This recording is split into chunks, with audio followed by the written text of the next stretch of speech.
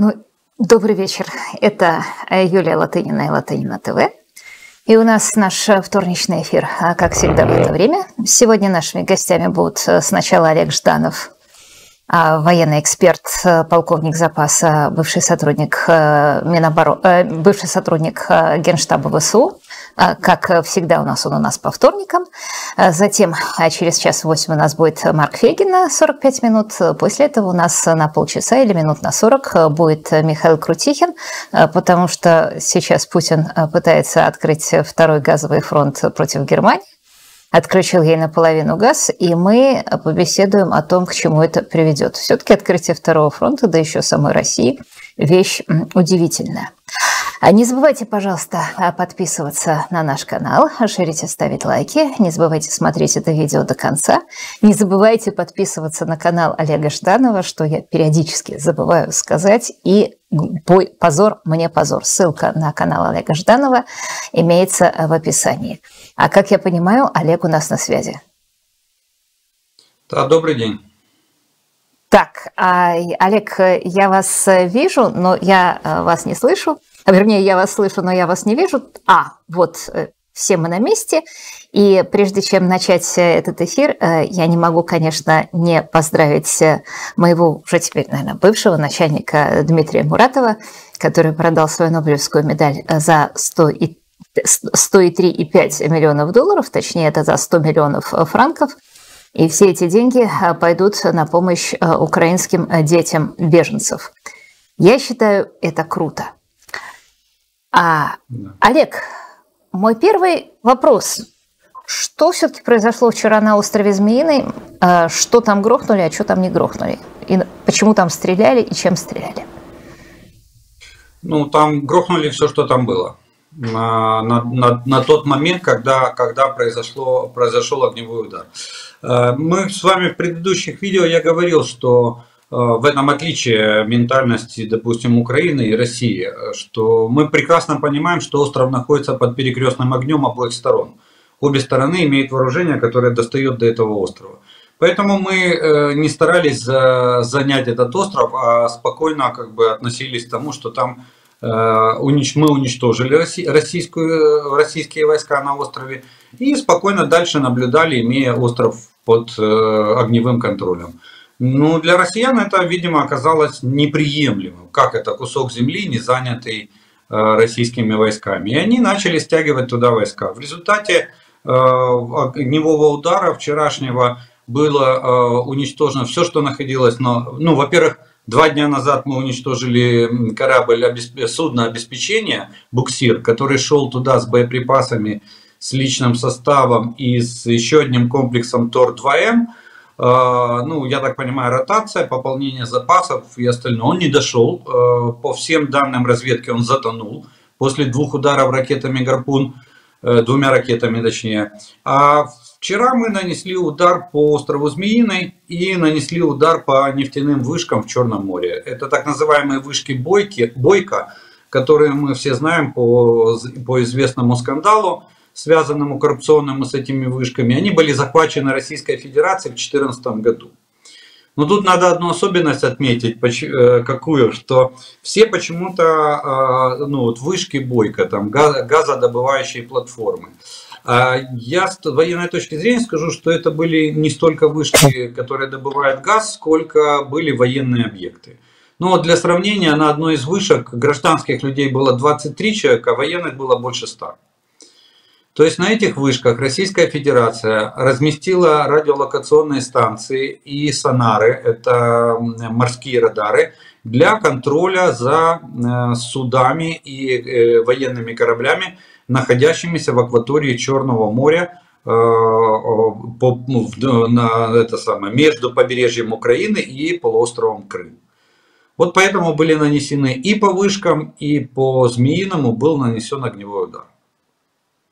Ну, вы, собственно, предвосхитили мой вопрос. Я э, хотел спросить, а зачем стрелять по нефтяным вышкам, хотя бы закупленным вдвое против э, своей настоящей цены? Э, вы на него ответили, что там были РЛС и сонары. А сколько всего, что было все-таки на Змеином, и чем уничтожили это? Хаймерсами или чем-то другим?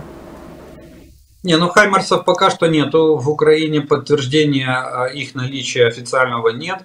А, у нас есть э, из официальных источников министр обороны сказал, что с прошлой недели, на, точнее с началом этой недели, на боевое дежурство заступил э, ракетный комплекс «Гарпун» противокорабельный.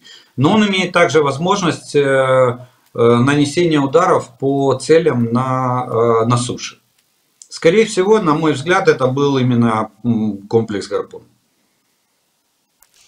А что именно было, что именно успели российская армия накупить, э, или точнее российский даже флот э, накопить на Змеином к тому времени, когда все это грохнулось?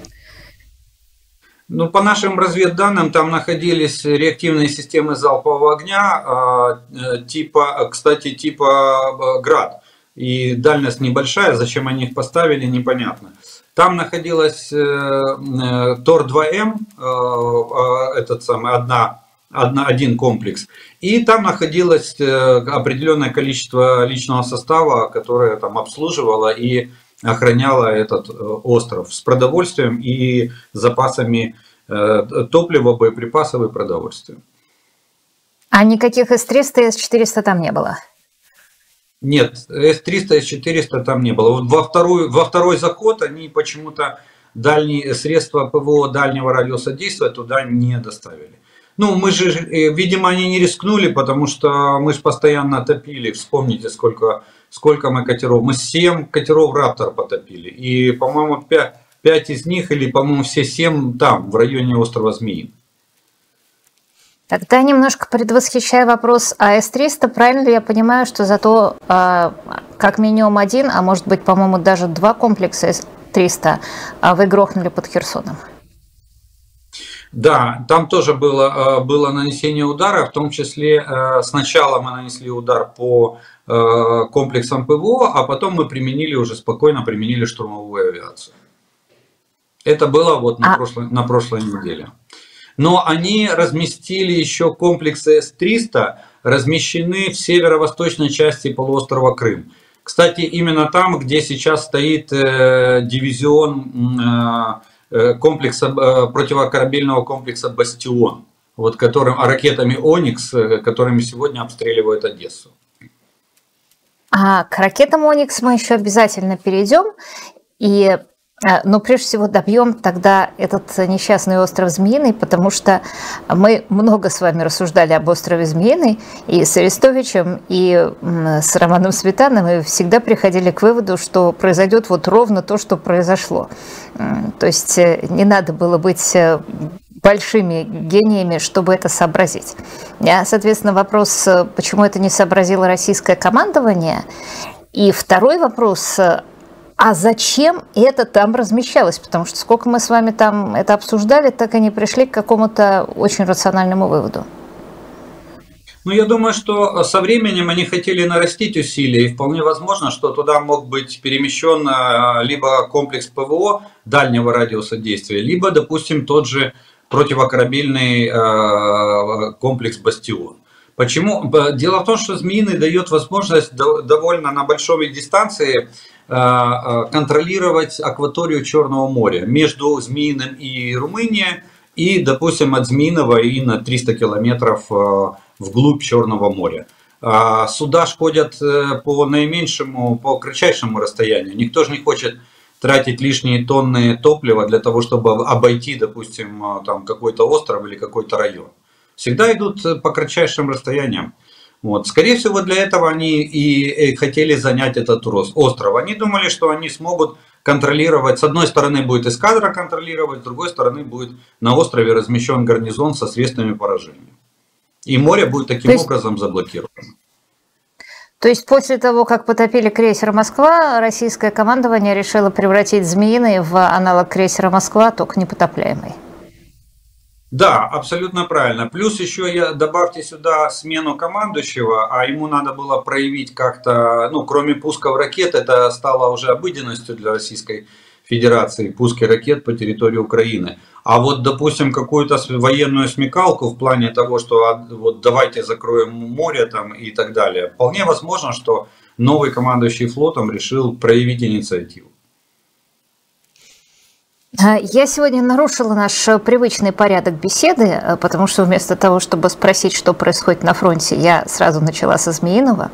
Поэтому давайте, Олег, я немножко исправлюсь. И э, напоминаю нашим слушателям а, подписываться на наш канал, шерить и ставить лайки. Особенно важно, когда вы подписываетесь прямо в момент эфира, потому что у нас тут злые тролли к нам приходят и нам всячески гадят. И поэтому ваша поддержка нам всячески нужна. Не забывайте подписываться на канал Олега Жданова. Вот сегодня я исправилась.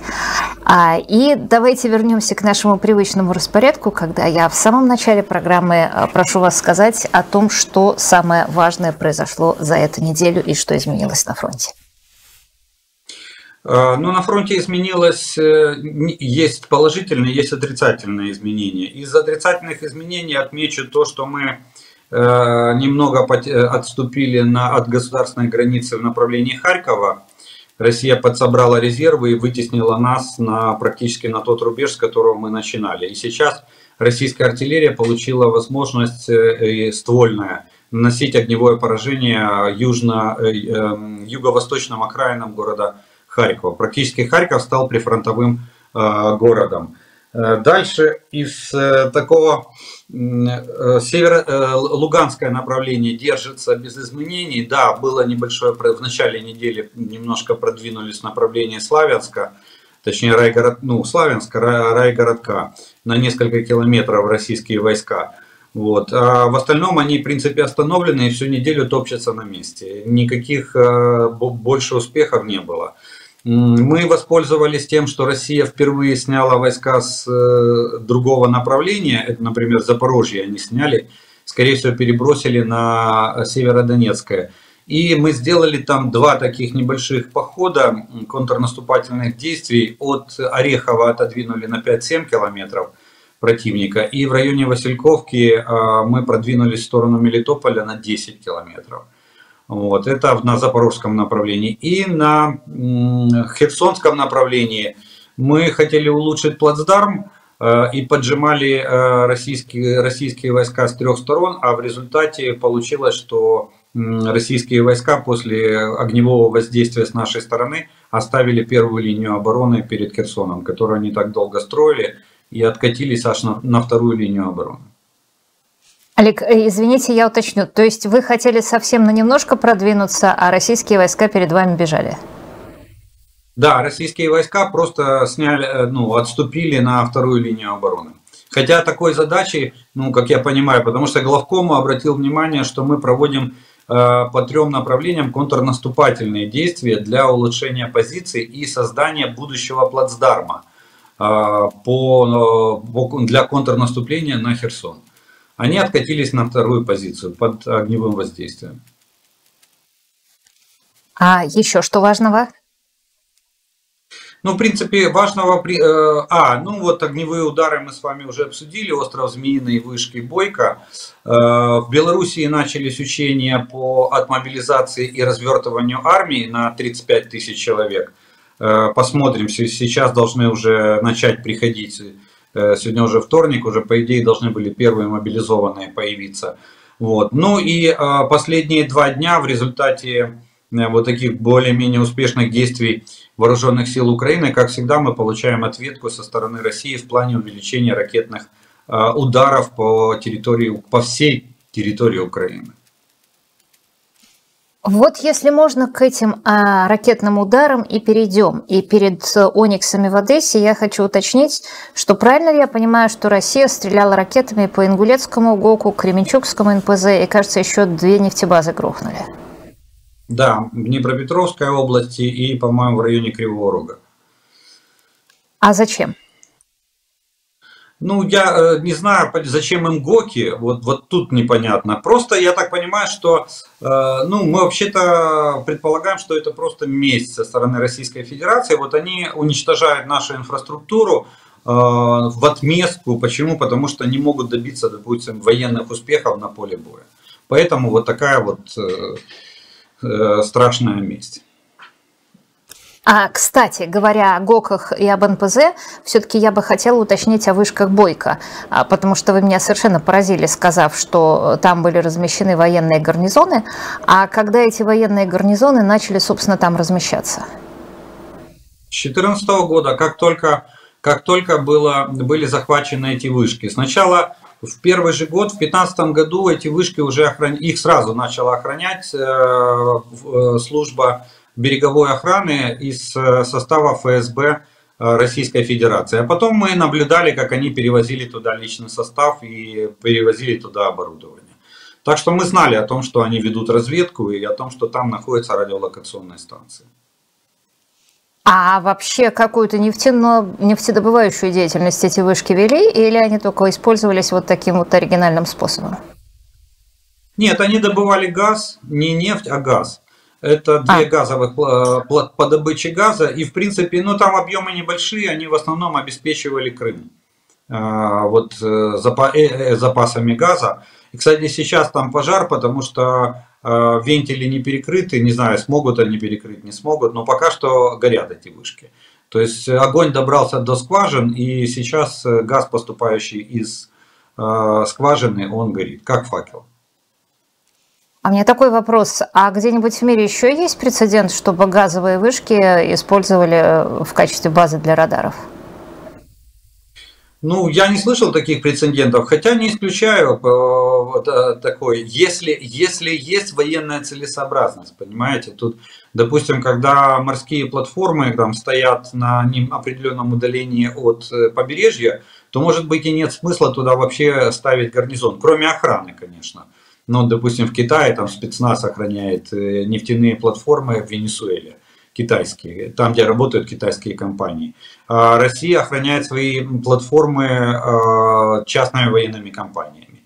Ну, тот же Вагнер был замечен э, в Венесуэле э, по охране нефтяных вышек, которые разрабатывали российские компании.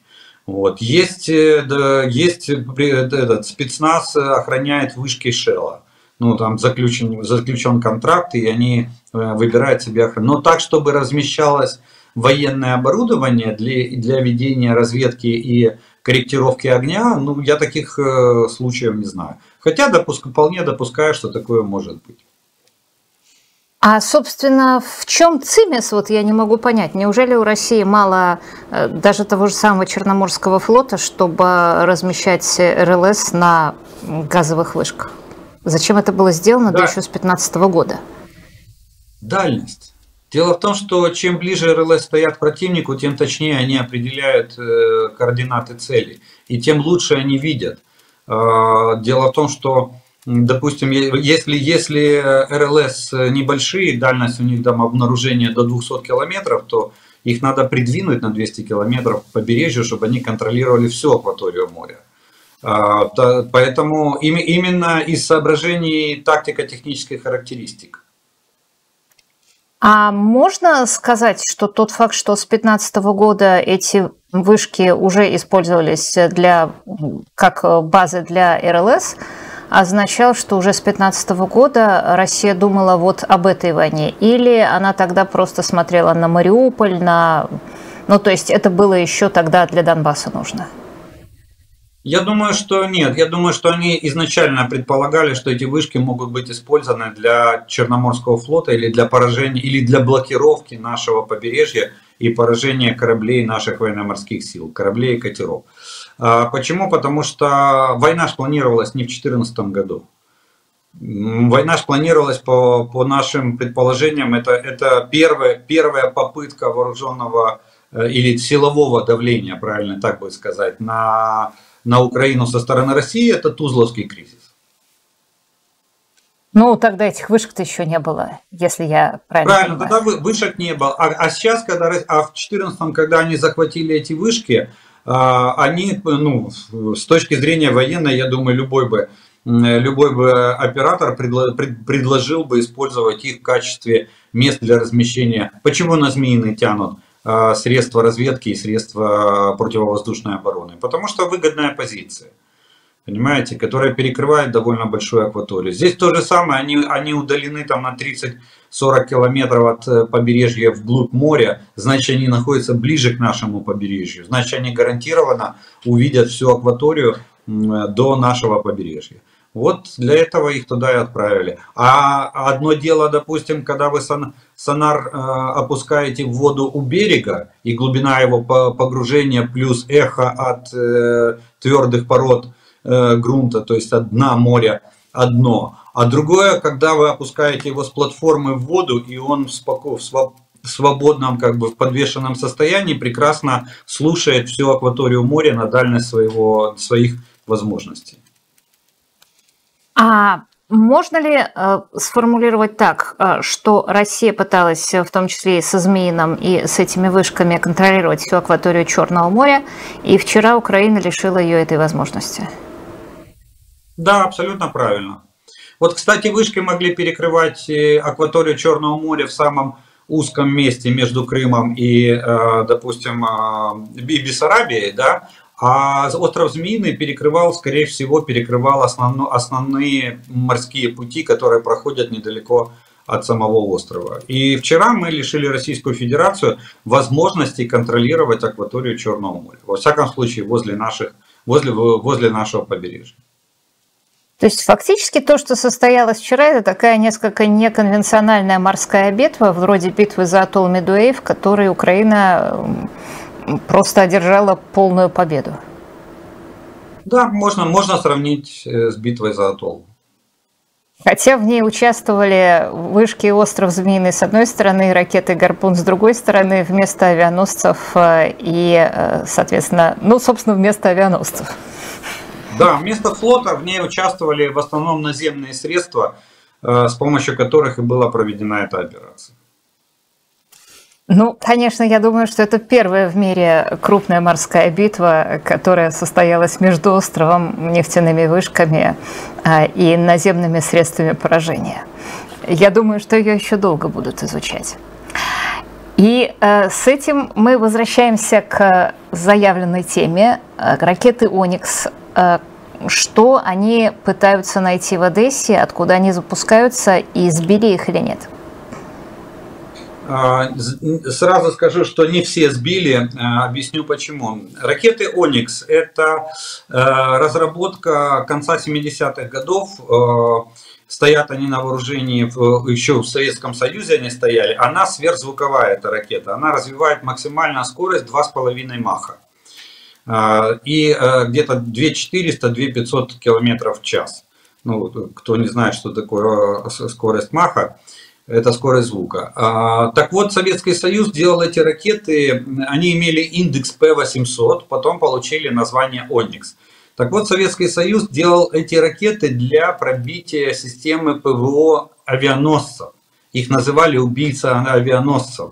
А, и именно для этого им была придана скорость э, сверхзвуковая, чтобы они быстро и эффективно могли пробить э, систему ПВО авианосца и утопить его. Создавалась она, естественно, эта ракета под ядерный боезаряд, потому что, понятно, одной ракетой э, с 300 килограммами тротила ты авианосцу больших повреждений не нанесешь. Вот. А, а у нее 300 килограмм э, может весить боевая часть. Э, первые Ониксы летали на дальность до 300 километров, потом Оникс был модернизирован частично, и название Оникс М получил уже дальность пуска до 800 километров. Э, применяются они противокорабельными ракетными комплексами э, э, типа «Бастион». И вот на сегодня Российская Федерация перетянула один такой ракетный комплекс, то есть один дивизион вот этих бастионов, они поставили в северо-восточной, в северо-западной, извините, части полуострова Крым. Кстати, где-то примерно на, на, напротив того места, где стоят в море вышки. И оттуда они на дальности до 300 километров достают до города Одесса. В надежде, что ракеты сверхзвуковые, э, и они не будут сбиты, и они обстреливают город. Видимо, этих ракет у них много. Трудно было найти, э, я не нашел данные, сколько же их было выпущено всего. какие, каковы запасы на сегодняшний день. Но тем не менее. Но, кстати, это может свидетельствовать и о том, что калибры заканчиваются. Видимо, калибрами все-таки решили поэкономить, поэтому развернули, это же перетянули с южного побережья Крыма, перетянули дивизион э, вот этих ракет э, комплексов «Бастион» и ими начали обстреливать город Одесса. А что именно в Одессе хотели обстрелять и что получилось? Понимаете, там дело, дело в том, что можно примерно только догадываться. Они говорят, что они там объекты военной инфраструктуры. На самом деле, дело в том, что эта ракета имеет очень большие отклонения, круговые отклонения от точки прицеливания. Почему? Потому что она была в основном рассчитана под ядерный боезаряд. И поэтому Советский Союз особо не, не, это самое, не заморачивался на точности этой ракеты. И отклонение ее от точки прицеливания может там составлять несколько сотен метров. Поэтому сказать точно, что они хотели разбомбить, и очень тяжело. На пока они попадают в основном либо э, в промышленную зону, либо в, вот, в торговый центр, либо в жилые кварталы.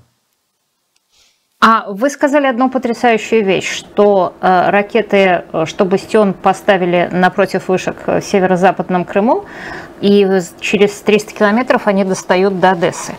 Правильно ли я из этого могу заключить, что, собственно, причина, по которой Ониксы стреляют по Одессе, э, заключается ровно в том, что это единственный город, э, который можно достать из той точки, куда их легко было приволочь?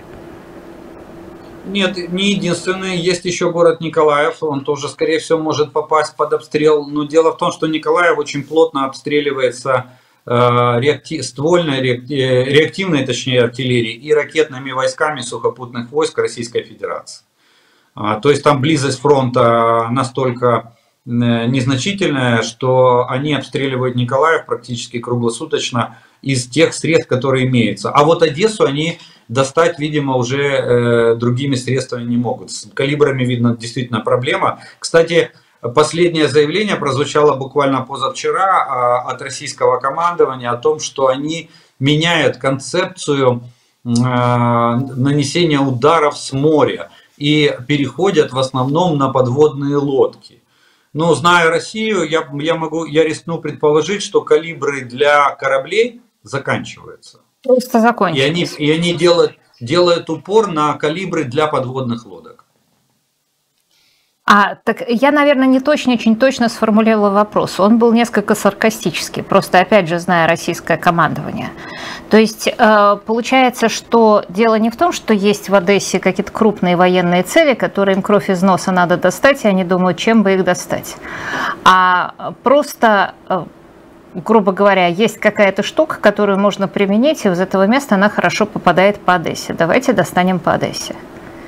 Да, абсолютно правильно. Для, в основном это психологическое воздействие на сам город и на создание общественного мнения э, в городе, а также ситуации хаоса и паники. И вот нам сегодня, допустим, надо э, решать вопрос, может быть, надо начинать. Вот в Харькове уже эвакуация повторно началась. А, собственно, а чем сбивают ониксы? Ну, Ведь какие-то части были э, сбиты. Вы... Да, какая-то часть была ракет сбита. Дело в том, что у нас-то выбора нет, чем сбивать. У нас единственный комплекс, который может выполнять не, с ограниченными возможностями, может выполнять функцию противоракетной обороны, это С-300. Допустим, если он там а, обычную цель может сбить там на расстоянии 200 там, 2 километров и более, то а, ракету он может сбить на расстоянии там 50-60 километров. Но за счет того, что Э, у нас э, там между Крымом и Одессой за счет того, что там ровная поверхность, то есть море, э, дальность видимости РЛС значительно, значительно увеличивается, и мы можем засекать пуски. Чем раньше ты засекаешь эту ракету, тем, тем больше у тебя времени на то, чтобы пустить противоракету. А авиация их не может сбить? Нет, сверхзвуковые не может. И они по габаритам не такие. Авиация может бороться вот с калибрами, мы уже, мы уже научились с авиацией сбивать. А, потому что мне кажется, мне Роман Светан, если я не ошибаюсь, говорил, что как раз э, истребители-перехватчики научились перехватывать калибры, крылатые ракеты. Да, калибры, да. Но Оникс же... Так калибр летит, извините, калибр летит 840-870 км в час. Он летит как обычный самолет. Единственное, что у него, э, у него он маневрирует в воздухе, у него не математическая траектория. То есть РЛС его не может просчитать, это раз. И второе, он летит на низкой высоте и, э, соответственно, попадает в мертвую зону радара. Вот в чем э, отличие. А истребитель, если истребители вовремя поднять, то истребитель легко находит калибр, расстреливает его как обычный самолет. Несмотря на то, что у нас э, осталось еще очень много вопросов и по Северодонецку, и про Херсону, и по э, самому Донецку, который я обязательно обещаю нашим слушателям, я просто очень давно хотела Олега расспросить, собственно, о том, а, какие ракеты и как э, применяет э, Россия в Украине. Это была довольно, заявлен, довольно давно заявленная тема. Я думаю, что мы рискнем посвятить ей хотя бы сейчас некоторое количество времени, а потом вернемся к непосредственному раскладу на фронте, потому что есть еще очень интересные вещи, включая, например, кадыровцев, заехавших в Донецк. Но об этом чуть попозже. А пока а, прошу вас э, не забывать э, подписываться на наш канал и подписываться на канал Олега. Нас слушает 21 тысяча человек. Это очень неплохо. Канал Олега написан, напоминаю, находится в описании. И э, если вы подписываетесь на нас во время стрима, то это особенно хорошо увеличивает его раздачу, а он того стоит. Итак, ракеты. А очень давно говорят о том, что ракеты у России заканчиваются, что ракеты у России неточные. И если можно, коротенький обзор, а я потом буду уточнять, какие ракеты использует Россия, по каким целям а, и откуда она их запускает. Ну, давайте начнем тогда, наверное, с самых мощных. Самые мощные ракеты, которые запускала Российская Федерация, это Х-101. А, это крылатая ракета стратегическая с дальностью пуска 5500 километров. Запускаться она может со стратегических бомбардировщиков типа Ту-95 или Ту-160. А, запускались они в начальном этапе войны и несколько раз запускались вот буквально пару недель назад. А, в начальном этапе войны в основном с акватории Черного моря – по разным целям э, на всей территории Украины. И э, последнее время э, запуски были засечены с акватории Каспийского моря. Они там и базируются. Они, город Энгельс на окраине Самары, базируются стратегические бомбардировщики ВКС России. Вот они оттуда и запускали эти ракеты Х-101. Но очень дорогое удовольствие. Каждая ракета стоит несколько миллионов долларов. И запускать такую ракету, она рассчитана под ядерный боеприпас, но может быть в осколочно-фугасном исполнении. Вот ее запускали. Вторая ракета, которую, которую запускали, опять же, эти же самолеты, она для них и предназначена, это ракета Х-55 или ее модификация Х-555. Дальность запуска там колеблется где-то в пределах 3000 э, километров. Есть модификации на 2,5, есть на модификации на 3,5 тысячи.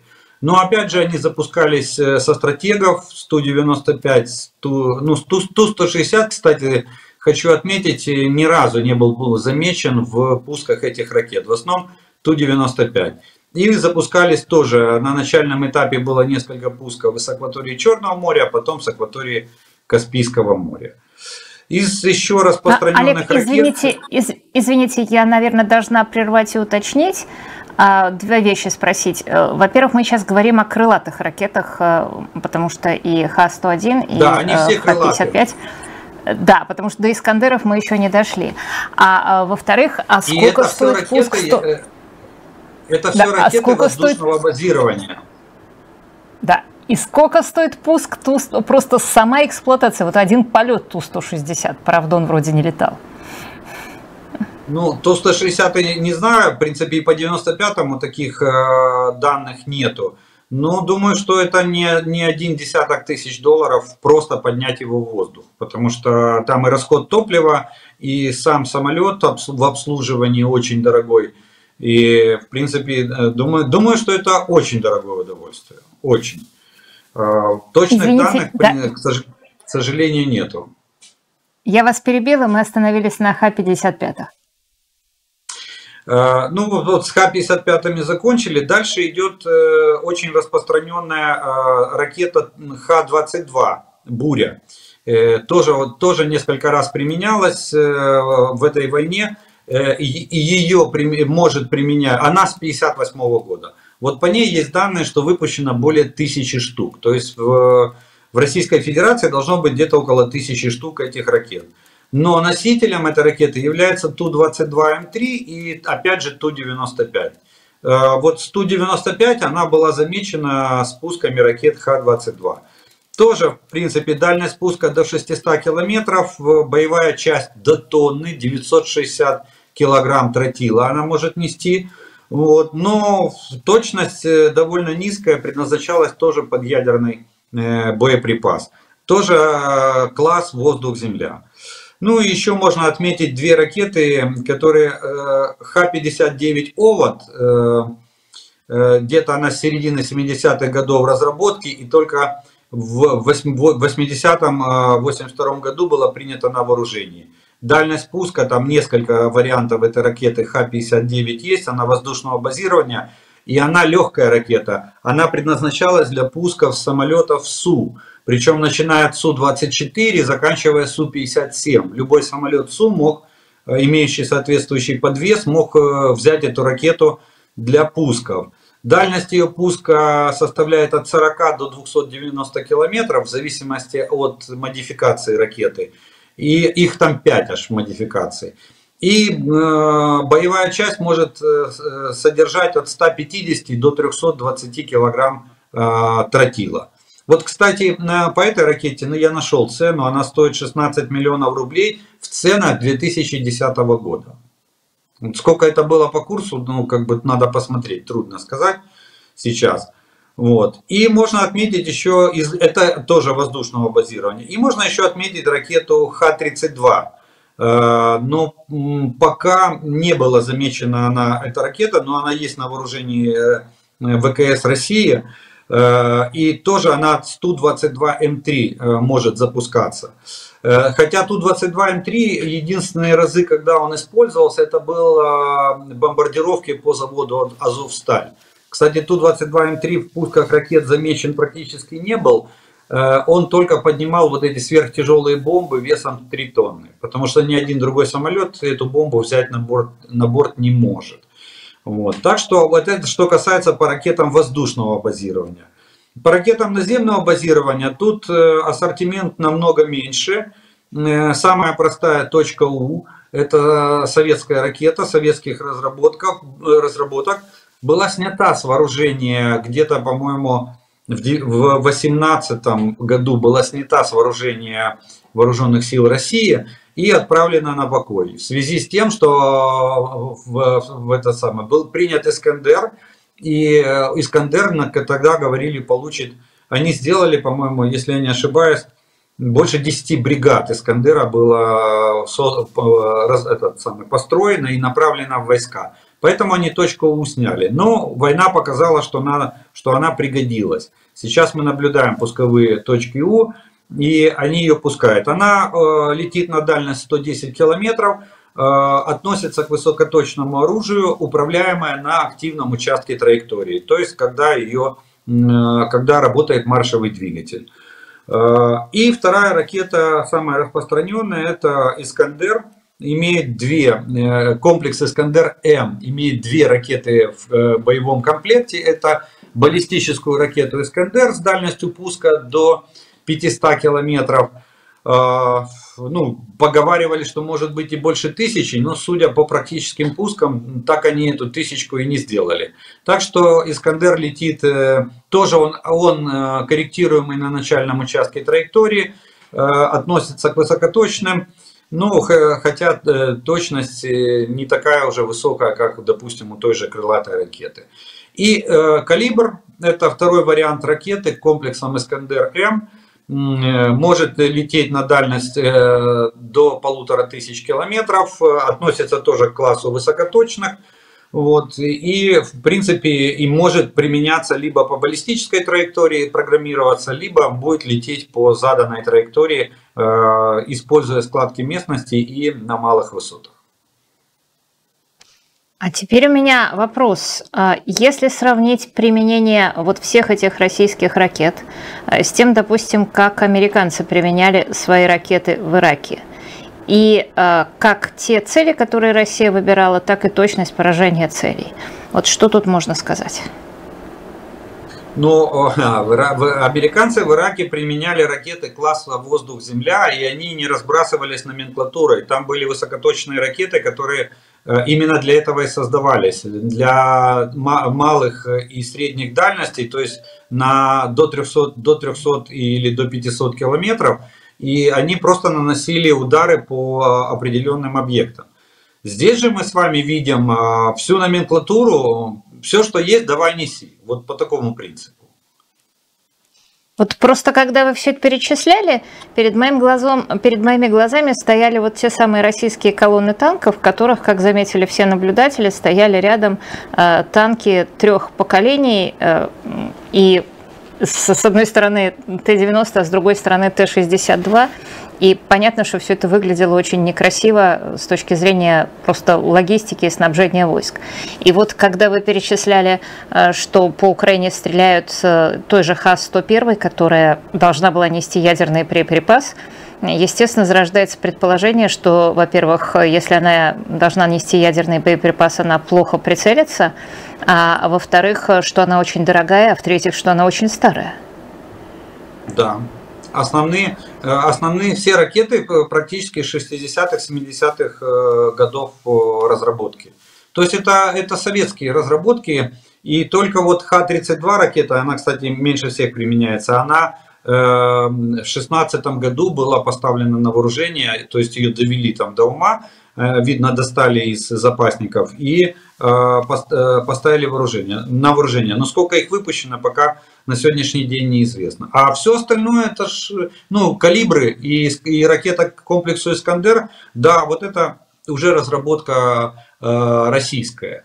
Вот. Но опять же, смотрите, Искандер, там производная для Искандера, это был комплекс э, «Точка», который фактически превратился при, при глубокой модернизации, превратился в тот же, э, в тот же Искандер. Увеличенная ракета, измененная пусковая и э, увеличена дальность и мощность боевого заряда. Вот и все. Своих ракет современных практически нету, а раз-два и обчелся. Все остальное это запасы Советского Союза. И по производству, и по разработкам. А вот э, следует ли из того, что вы сказали, то, что Искандеры и Калибры у России просто кончаются, или наоборот, это очень разумная стратегия отстрелить э, Х-22, которая все равно с 58 года, ее все равно надо списывать, э, так вот типа давайте ее хотя бы выстрелим? Нет, я думаю, что первый вариант. Именно калибры кончаются. Вы вспомните первые недели войны. Там только калибры были. Только. И они только где-то недели через э, три, если не четыре, они начали уже применять баллистическую ракету комплексом «Калибр». А первое время а, летели только «Калибры». Голову поднимаешь, и, ну вот я сам видел, голову поднимаешь, и он потихонечку жужжит и летит на, на, буквально на высоте там 100-150 метров. Это где же вы его видели? Я видел в Хмельницком и видел под Киевом. Через нас, через нас летели ракеты, э, которые пускались из Беларуси. Ну, а... так, вот для понимания, возле моего дома, в 50 метрах возле моего дома э, стоит разрушенный дом, в который упала сбитая ракета «Калибр». А чем их сбивать? Их, э, ну вот, калибры, я же сказал, их сбивает система ПВО, и сейчас научились избивать их с помощью истребителей. Вот, э, они могут. Но для ПВО есть проблема в том, что она их должна увидеть. Это первый момент. И второй момент, ПВО работает в алгоритмах э, математики. И она умеет просчитывать траекторию ракеты, баллистической ракеты, которая летит по баллистической траектории. Вот. А ракету, вот такую ракету она а, просчитать не может. И поэтому Поэтому пуски противоракет не всегда а, бывают удачными. То есть иногда промахиваются ракет, и, и, и крылатая ракета спокойно уходит дальше э, на цель. Все время говорят, что у России ракеты вот-вот-вот кончатся, но из того, что вы сказали, что там тех же Х-22 э, больше тысячи штук, то это значит, что старых ракет у России еще долго не кончится. Ну, я никогда такое не поддерживал, и всегда э, на этот вопрос я всегда э, отвечал, зря надеетесь, там ракет еще исчисляются тысячами запасы, если брать в разные номенклатуры. Вот по калибрам, да, мы знаем, что их там было где-то около тысячи, а может быть полторы. И судя по, по тому количеству пусков, которое произведено, вот где-то калибры уже на дне. То есть э, уже осталось их совсем чуть-чуть. А баллистических Простите, ракет, я сразу перебью. Тоже... Это счета... Это считая резерв э, неприкосновен... Это считая резерв или без резерва? Или резерв тоже отстрелян? Не, я думаю, что вместе с резервом. Сейчас до России не до резервов. А, кстати, uh месяц назад э, Путин давал команду, мы, по-моему, с вами это обговаривали, что Путин дал команду немедленно возобновить производство ракет «Калибр» и запустить этот завод в три смены в круглосуточный режим работы. Но оказалось, что кроме как катать корпуса и ставить пороховой вышибной заряд, больше они ничего в этот корпус не могут. Все остальное это начинка, вся электронная начинка и маршевый двигатель это импортные комплектующие. А, тогда, потому что я очень боюсь, что у нас осталось еще всего 15 минут э, эфира. Может быть, мы еще вернемся к этому важному вопросу о, ракетам, о ракетах э, на э, следующей неделе. А уж больно интересные сейчас события происходят, на мой взгляд, и в Донецке, и под Северодонецком. Я прошу поэтому наших слушателей не забывать подписываться на наш канал, не забывайте подписываться на канал Олега, ширить и ставить лайки. Нас смотрит 28 тысяч человек, это прекрасно, но можно еще. И, о, Олег пропал. Но я надеюсь, Олег Нет, появился хорошо. снова. Олег, э, на прошлой неделе э, мы спорили с вами, кто обстреливает Донецк, и вы мне рассказывали, что Донецк обстреливают э, сами, само Ордло. А что вы скажете на этой неделе? Ну, в принципе, я как бы свою позицию не изменил. А, единственное, мы наносим а, огневые удары по а, промзонам, где есть склады с боеприпасами или где дислоцировались воинские части первого армейского корпуса 8-й, 8 общевойсковой армии Южного округа. Это, и у нас же есть возможность, э, мы же можем ювелирно наносить удары, но по жилым кварталам мы не стреляем. Это первый момент. И второй момент, вы сравните мощности взрывов. Э, как снаряды калибра 155 не рвутся небольшими хлопками. Так рвутся в основном минометные мины. Но насколько я понимаю, вы действительно... Э, нет, я не хочу сказать, что вы так уж серьезно обстреливаете э, гражданские кварталы Донецка. Но э, я, насколько я понимаю, вы обстреливаете трудовские высоты теми же самыми Д-30. Мы туда не достаем до этих самых, Д-30. Там если, там, если и применяется, то применяется в основном, потому что Д-30 сразу попадает под э, контрбатарейную борьбу. Вот. Э, там у России довольно много артиллерии. Вот. Так что там, если применяется, то применяется только дальнобойная артиллерия. А второе, насколько я понимаю, Россия как раз вывезла артиллерию из Донецка, и эта артиллерия сейчас работает по Лисичанску. Да, в основном туда. Они, они перетянули часть артиллерии на, э, на северодонецкие направления. Второе, насколько я понимаю, в Донецке э, кончилось пушечное мясо, потому что его тоже весь бросили под золотую и под, лисича, э, под, золото, под золотое. Ну, почему кончилось? Пушилин вчера буквально, вот, э, видимо, он понимал этот вопрос, вчера буквально объявлена очередная волна мобилизации, в которую включены женщины военнообязанные. И мы знаем, что теперь уже э, порог, э, верхний порог мобилизованных, это будет 65 лет. То есть они начинают отлов тех, кто остался. Третье, в Донецке паника, и из Донецке 15-10-часовые очереди на отъезд.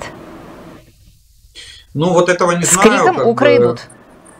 Э, вот это вот то, точно не знаю, поэтому не смогу подтвердить или, или опровергнуть. Интересовался только вот вопросами обстрела, потому что меня это тоже очень интересовало, и мне присылали вот ссылки с пабликов, где они описывали и где они считали там и разницу выстрела и разрыва и так далее. А насчет, насчет того, что отъезжать, ну, не слышал такого. Ну, вот э, это мне сказал Роман Светан, который э, очень тщательно изучал вопросы, и у которого очень хорошие связи в Донецке. Ну, собственно, когда-то он э, пытался его оборонять. И, кроме того, Роман сказал мне удивительную новость, что в Донецк завезли кадыровцев в дополнение к ментам, именно потому что, видимо, ну, то есть что контролировать население Донецка, вот дополнительно и забирать это пушное мясо, сложнее, дополнительно... Да?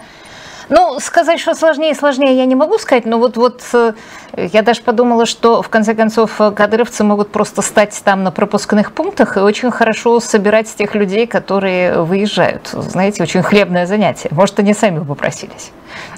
Согласен. А так, смотрите, но дело в том же, Э, снова, таки, э, снова же мы забываем самое главное э, составляющую. Дело в том, что кадыровцы это же Росгвардия.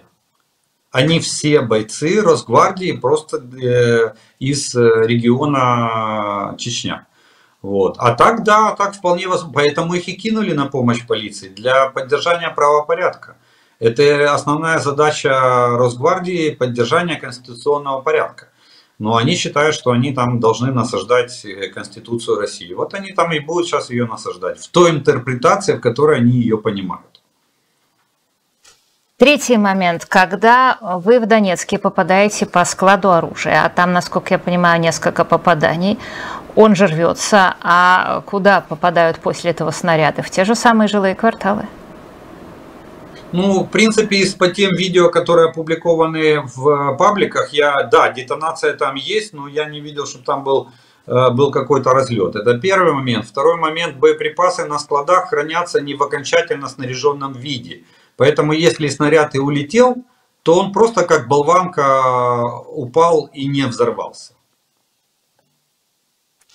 Я все это говорю к тому, что если неделю назад я совершенно не понимала, что происходит в Донецке, то вот поправьте меня. Сейчас, э, ну, вы, конечно, э, может быть, будете не согласны, но а, мне кажется, обстрелы Донецка, точнее, а, обстрелы в основном трудовских высот и важных э, военных точек в Донецке, а, имеют абсолютно совершенно конкретную цель.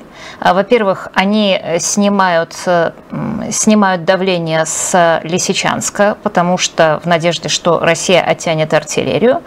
А во-вторых, они создают создают совершенно реальную угрозу занятия Украины, если не самого Донецка, то, допустим, трудовских высот, с которых можно будет угрожать городу, потому что, ну, безумие, конечно, занимать город в миллион человек. И после этого, а, Путин теряет лицо, и, б, он, в общем-то, даже ничего сказать не может, потому что он же, в конце концов, 8 лет кричал, что Донецк обстреливают.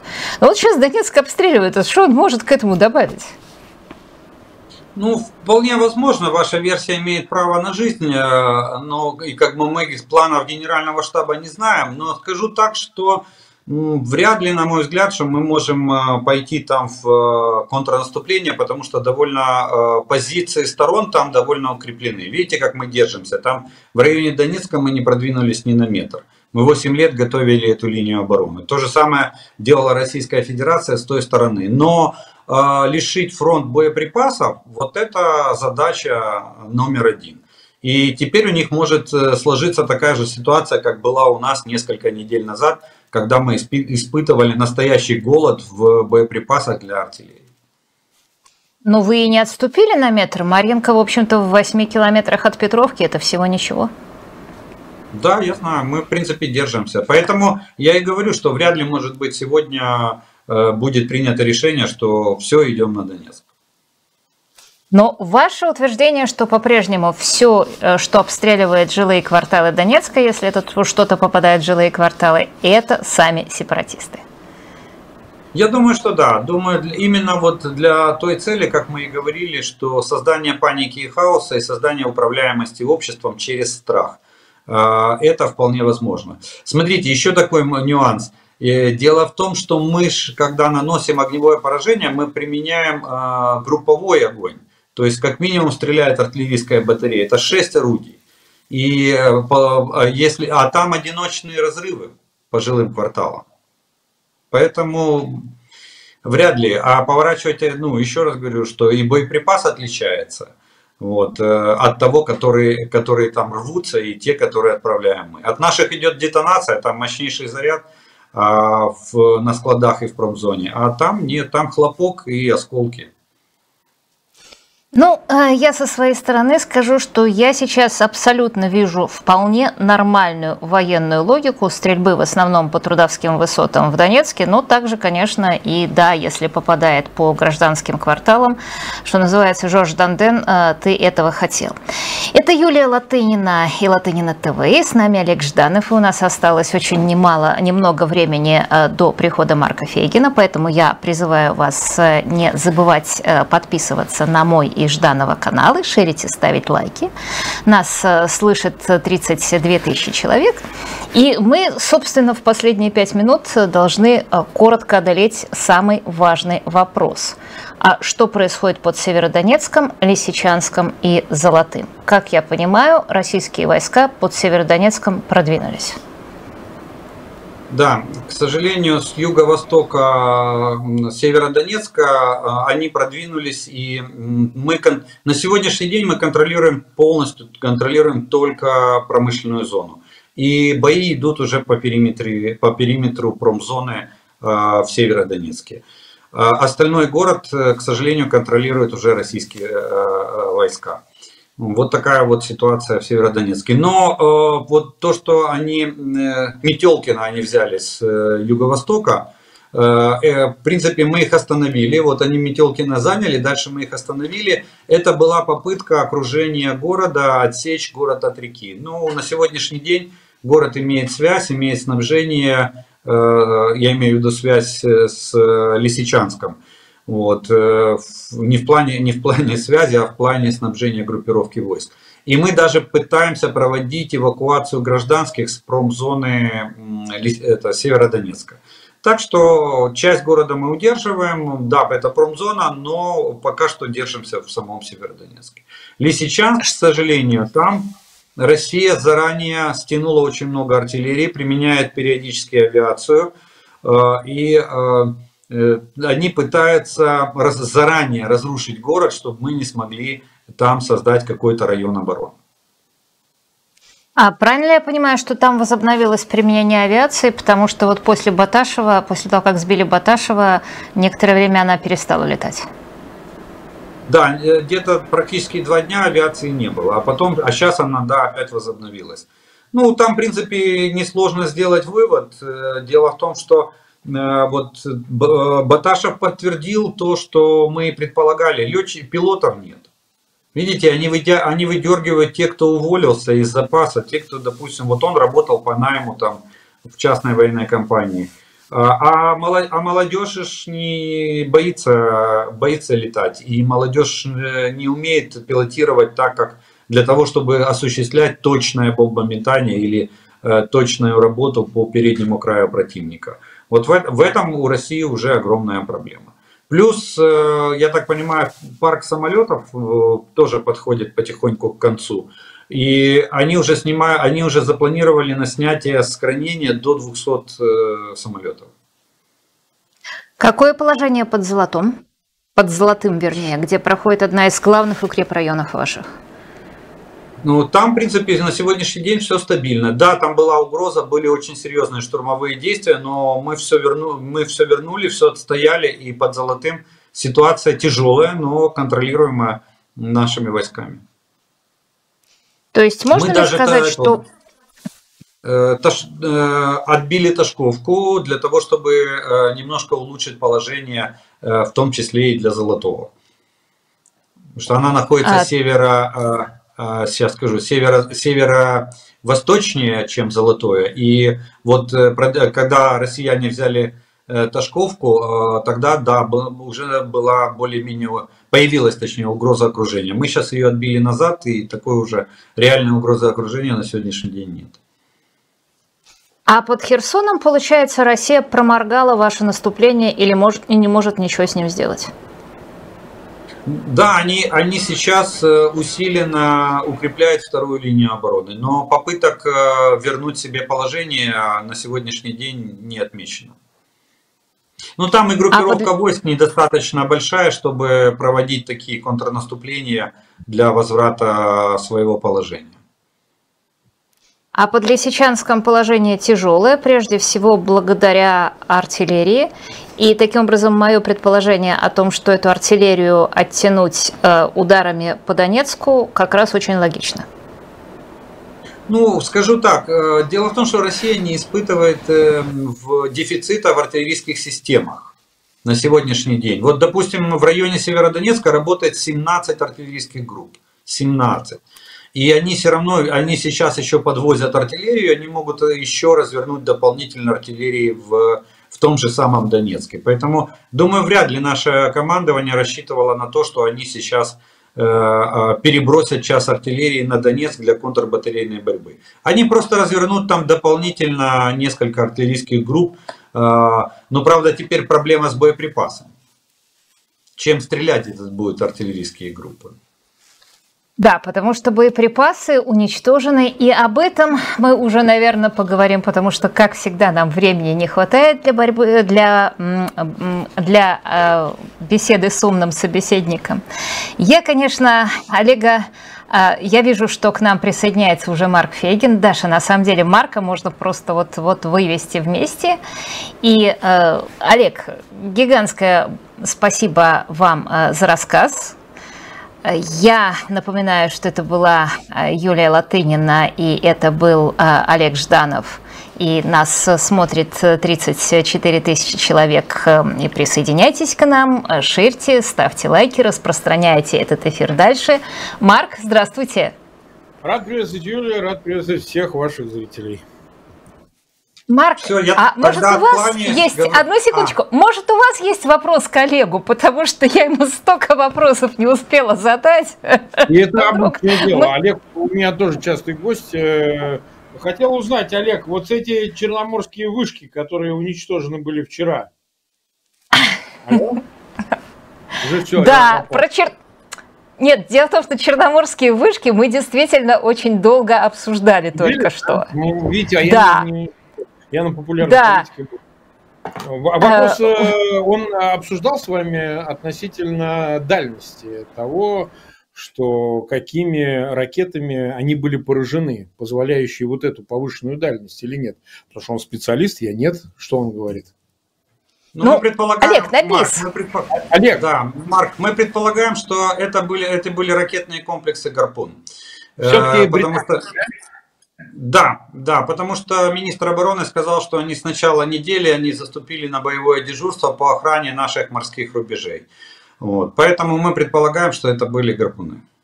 Ну, то есть это, безусловно, еще и дополнительный сигнал для Москвы, что имейте в виду, да? Мы можем... Ну так они еще, они еще, когда только были активные разговоры про гарпун, то эскадра вышла из вероятной зоны поражения, то есть удалилась от нашего побережья более чем на 300 километров. То есть получается, что фактически они пролетели 300 километров, да?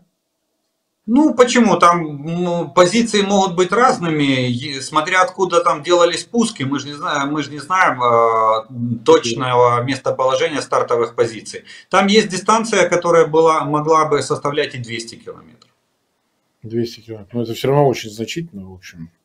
То есть, получается... Для высокоточной Марк, для высокоточной ракеты это не проблема. Если она рассчитана на 300, она будет лететь и 300. И вопрос э, точности самой ракеты и ее возможности отклонения от э, точки прицеливания. Э, я, я, я все-таки надеюсь, что и, и видите, жизнь показывает, что гарпун имеет меньше круговое отклонение, чем там те же самые э, российские ракеты типа Оникс, да. Если мы попада, попали в буксир, ну, размер буксира, да, и расстояние, с которого прилетела ракета к острову Змеиный, как минимум больше 100 километров. Но это повышает вероятность удара по Крымскому мосту?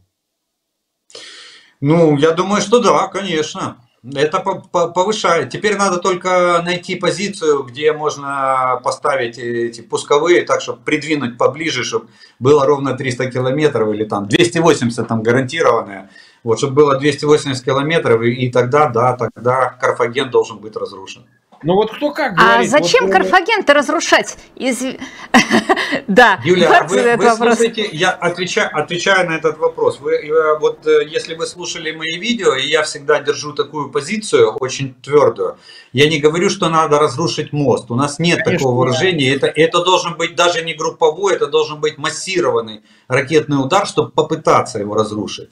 А вот, для, для, а вот вывести мост из строя, чтобы он нарушить, допустим, железнодорожное полотно, нарушить дорожное полотно, чтобы он прекратил работать как мост, вот главная задача, чтобы его перерезать, как может даже не по самому мосту. Почему бы не ударить? Там прекрасная развязка Керченская на въезде на мост. Там пересекается и железная дорога, и трасса Таврида. И можно одним ударом накрыть и то, и другое. И перестанут подвозиться снаряды.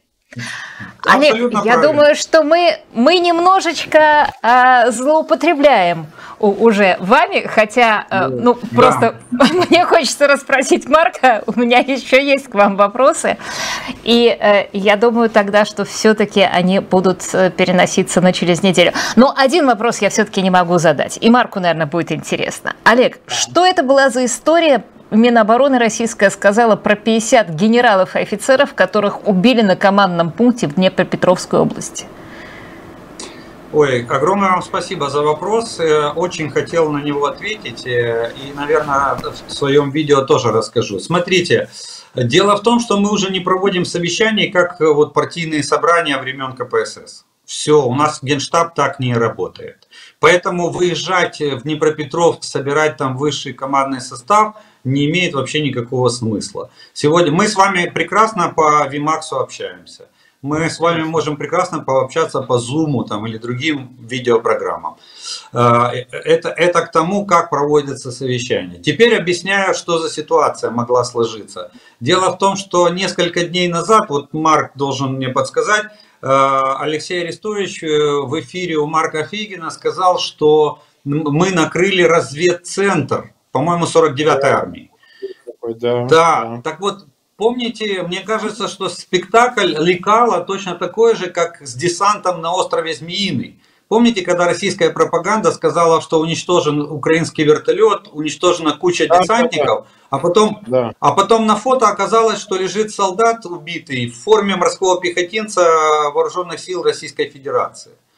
Вот мне кажется, здесь примерно та же самая история, потому что на второй день после разгрома разведцентра выходит новость, что они, да у нас нет 50 генералов, не, ну то, что Коношенков приписывает цифры, ладно, я промолчу. Но мы не проводим в таком режиме совещания. Давным-давно. Олег, Спасибо вам огромное, потому что это вообще потрясающая тема. Это вот как со складами вашими, которых нельзя разбомбить, потому что у вас складов нету, все идет с колес. Нету, да. Олег, э, я вас отпускаю. Значит, Марк Фейгин у нас уже некоторое время присутствует в эфире и даже расспрашивает Олега с моей легкой руки, э, выполняя мою работу.